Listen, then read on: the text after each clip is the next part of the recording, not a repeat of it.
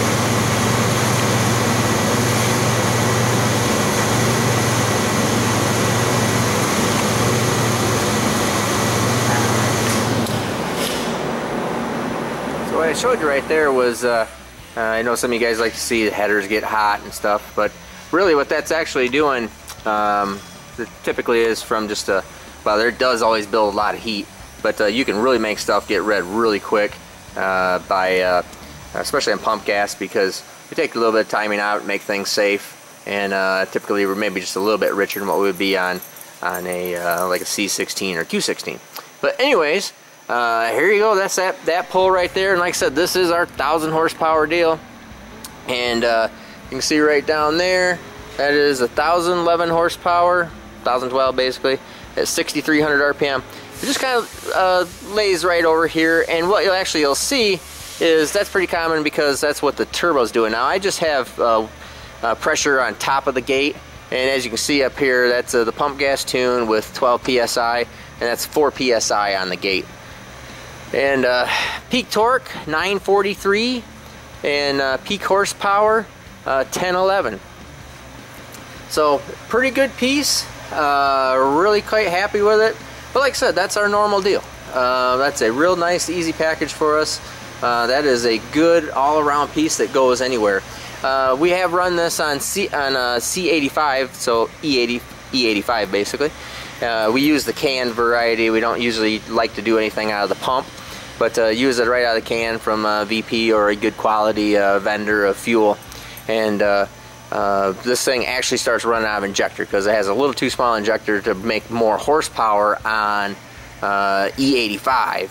Uh, it could make more horsepower if I really want to turn it up some if we put uh, C16 in it, something like that. But uh, on E80, E85, it made 1061.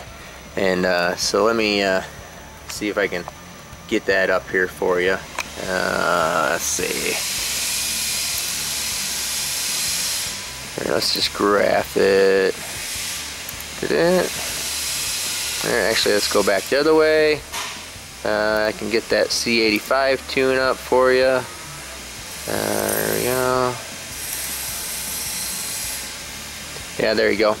It made uh, 1061. You can see right down there at 6200. Looking good. It picked up, uh, you know, 50, 60 foot-pounds of torque now. So that's the exact same tune-up, uh, just with a fueled conversion, uh, converting it over to E85.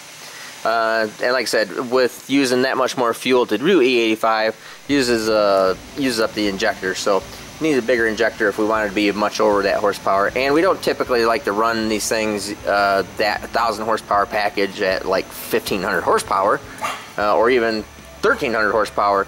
But typically, you know, it'll be in that 1,000 to 1,100 uh, horsepower. Nice and easy. Same boost, you know, just good, easy, steady uh, 12 pounds of boost.